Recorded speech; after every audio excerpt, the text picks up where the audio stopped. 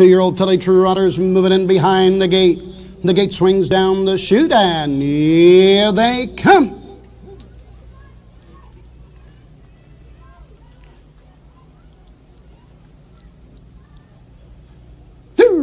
Off and trotting Bloodstock's Chat goes for lead on the outside. Canland Hall between horses up on the outside. Softly Dream racing third. Customary Logo gets away fourth. Chips Ahoy racing fifth. Hobo Chip trails the field down the backside. Going to the first quarter mark. Bloodstock's Chat on top of the field. Racing second is Canland Hall. Softly Dream racing third. Customary logo fourth. Chips Ahoy racing fifth. Treading the field, Oboe Blue Chip as they race over to the first quarter mark in 29 and 4.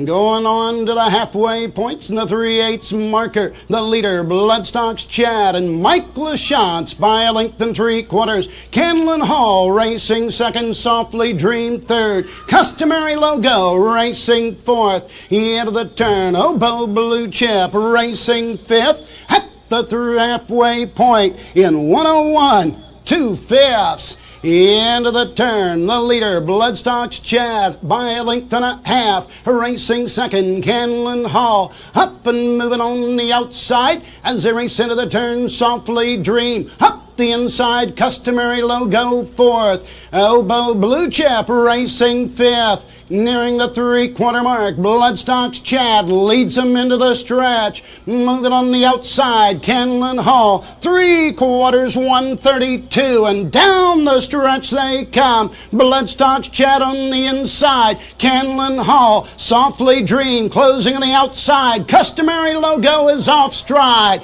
Coming to the wire, Canland Hall on the outside. Bloodstock's Chat with Trot on the outside. Softly Dream with every stride. Canland Hall, softly dream, it's Canland Hall!